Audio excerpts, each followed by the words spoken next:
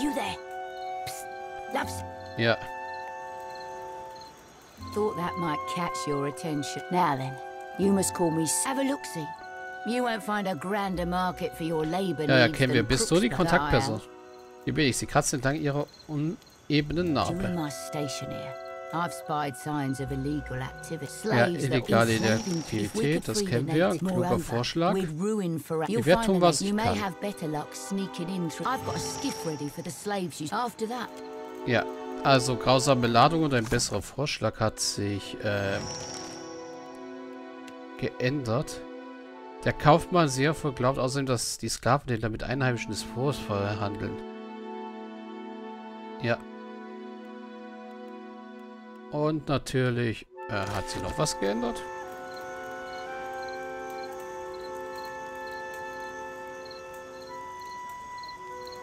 Ah, da steht das jetzt im Kampflog. Ah, hier.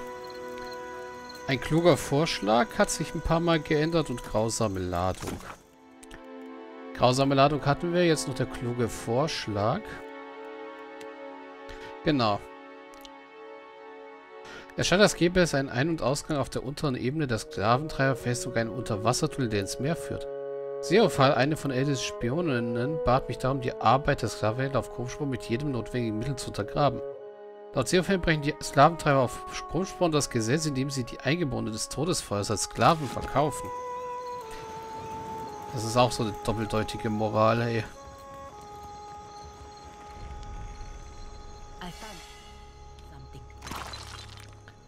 Hey, cool. Bernstein und Velorum. Und die Ogerkanoniere, die sehen putzig aus. Vor dir bohrt sich eine schmale Höhle wie ein Pfeil in dem felsigen Bereich unterhalb des lang zerbröckelten Steinfundaments der Festung. Die gedrungene Öffnung der Höhle wird vom Meerwasser umspült.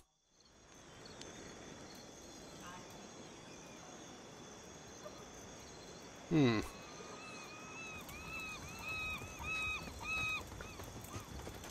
Ich mache hier mal ein Quick Save. Obwohl, ich sollte hier einen richtigen Save machen. Oh, und bei ihr Sachen kaufen. Hier liegen Sklaven herum.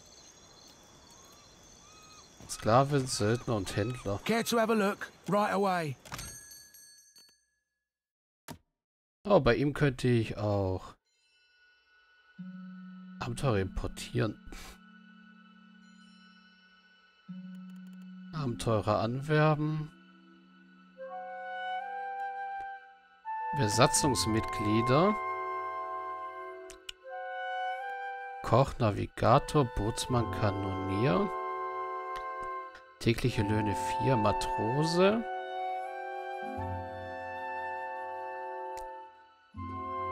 Meisternavigator. Ja, der bringt mir nichts. Ich habe schon einen guten Navigator.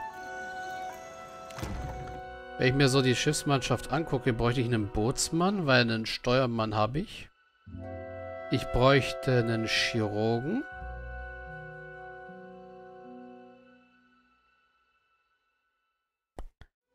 Also einen Bootsmann und einen Chirurgen e- erstmal.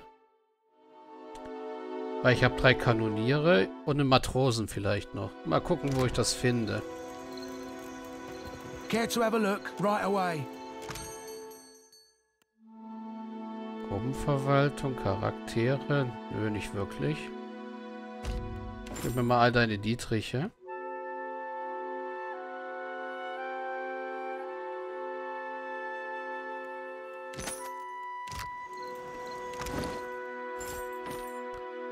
Äh, ja, Cole, der, die wollte ich äh, Alof geben. Den Ring? What'll it be, Jen? Lockpicks, Ja. you know, for the more. Now, if I were a wagering woman, during my slate in Ja, ja, slate, kennen wir alles. we, you'll find that you may have. I've got a after that. What'll it be? You mean a sight by or sell from far and wide, the kind you won't find. Swabby, I simply work. Aye, most of the and here they'll stay. Oh, aye. What'll it be? Sure. Ja, Waren kaufen, genau. Deine Dietriche, deine Brecheisen, Seile und Hammer. Auch wenn das alles nicht bei Seraphim landen sollte. Egal.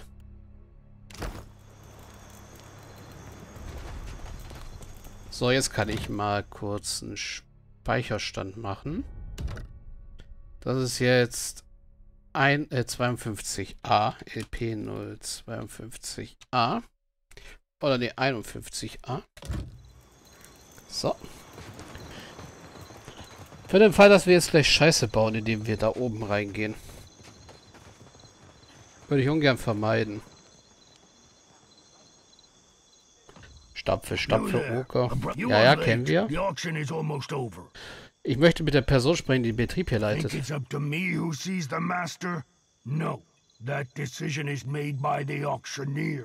Glaubst du, es, war, es sei an mir zu entscheiden, wer den Meister sehen darf und wer nicht? Oh nein, darüber entscheidet die Versteigerin.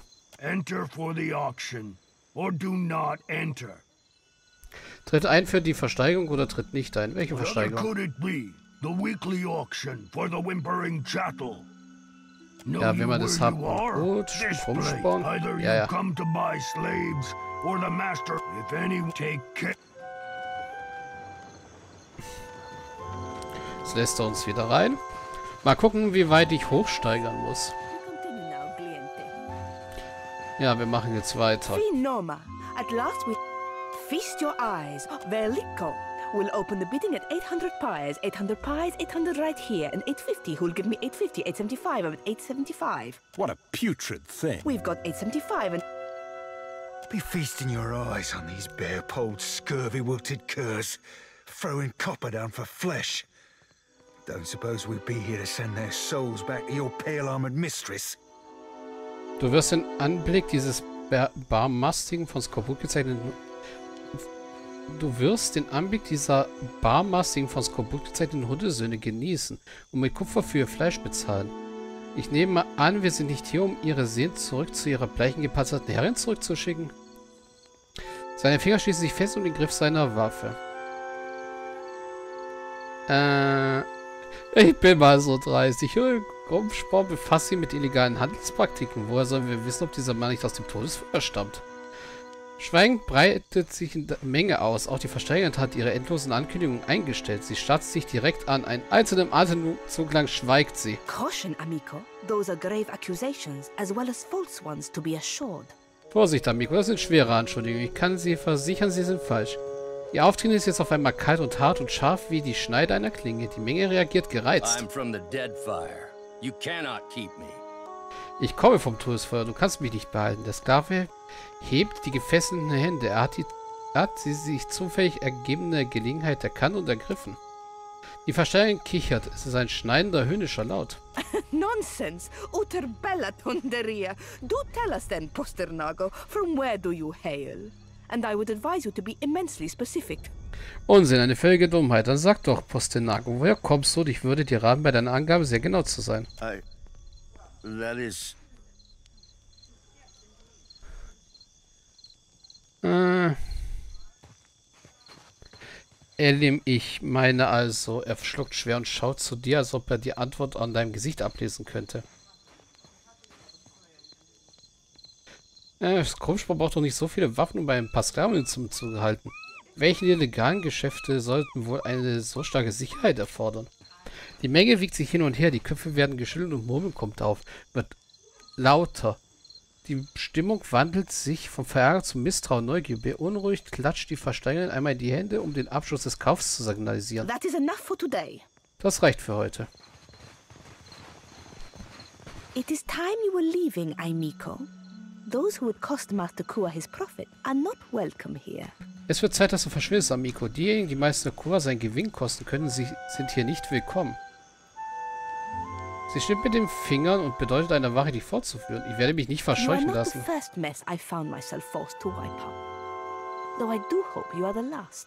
Du bist nicht die erste Sauerei, die ich mich gezwungen sah aufzuwischen. Ich hoffe allerdings, du bist die letzte.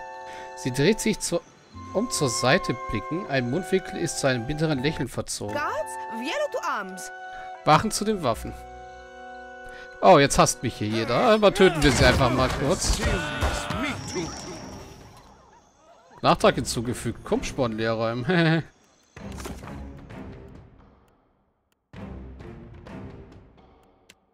ja.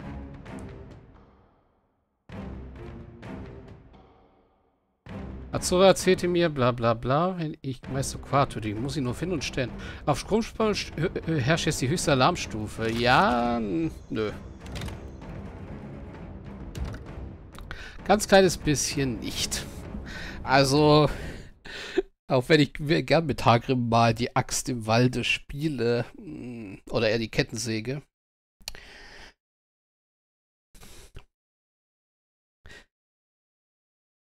sollten wir hier doch ein bisschen mit Raffinesse vorgehen. Erst einmal, solange wir können, kaufen wir den Sklaven frei. Das Geld können wir uns ja nachher von der Leiche wiederholen, von dem Sklavenmeister. Wahrscheinlich noch viel mehr Geld. You there. Approach. You are late. Yeah. The auction is almost over. Think it's a enter for what other? No, you. This. Either you come to. If anyone take.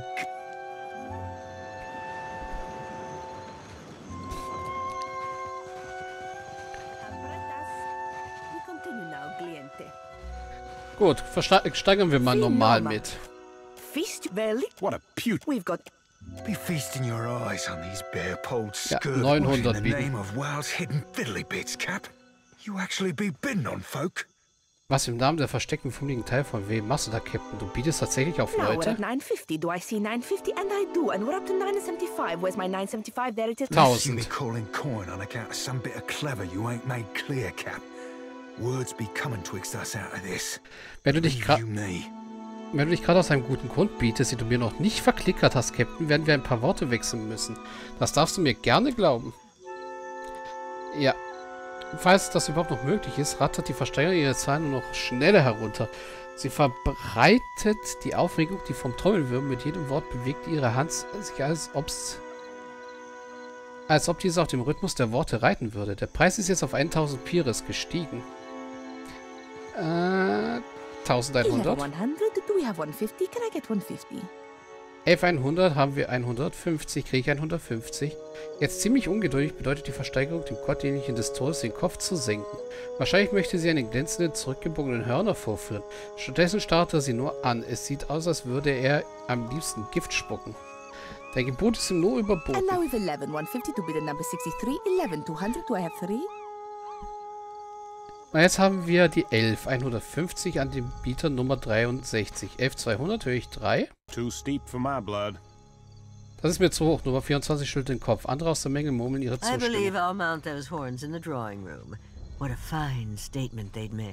Ich glaube, ich werde die Hörner im Salon aufhängen. Die perfekte Dekoration. Die Frau lächelt begierig und voller Schadenfreude. Are you mad? They've medicinal value. Bist du verrückt? Sie besitzen medizinischen Wort Wert. Die Worte werden zornig hervorgestoßen, doch der Bieter macht kein Gegenangebot. 11 150. Going once, going twice. And now it's 1200. 11 200 to the bid with no number. How odd. It's a delightful mystery, cliente. 11 200. Do I have three? Und jetzt haben wir 11200 von dem Bieter ohne Nummer. Wie merkwürdig. Ein reiz reizvolles Rätsel, Kliente. 11200 bekomme ich drei. Die Bieterin betrachtet die verärgert. Aufgeregt schlägt sie sich den Fächer mit Schlängel, Schlägen in den Oberschenkel. Doch am Ende hebt sie ihn nicht erneut. 11 200 pyres. Once, twice, sold to a mystery bidder. 11200 Pires zum ersten, zum zweiten verkauft an unseren mysteriösen Bieter. Gnade, ich hoffe doch, du verfügst über ausreichend Mittel, um deinetwillen ebenso wie um Come here meinetwillen. now. We will finalize the trade. Komm jetzt, wir werden den Handel perfekt machen. Perfetto. Let us close this deal. Perfetto, lass uns den Deal abschließen. Good day, my Lord Master. Wahrscheinlich neigt den Kopf in Richtung des gefesselten Gottgleichen. first-time buyer, Ak. For I do not recognize you as one of our usual patrons. Ja, bist du sicher, dass du mich nicht erkennst? scarce before the transfer is com- Ja, ja. Gut, ein kluger Vorschlag und Krummsporn leer räumen hat sich nochmal geändert. Mir wurde eine Audienz bei Meister Kua gewährt, der die Operation auf Krummsporn leitet. Hier. Und ein kluger Vorschlag. Ähm... Auktionator Marke hat mir gestattet, die Festung auf Krummsport zu betreten, um mich dem mit dem Meister treffen zu können. Good day, my Lord Master. Ja. Zum Krummsporn Kerker geht's da runter. Ich kann wahrscheinlich nicht nach da oben, oder? Doch, scheinbar schon. Hast du dich verlaufen? Äh, scheinbar ja. Gut, da wir aber jetzt schon am Ende der Aufnahmesession sind und hier alle irgendwie weg sind,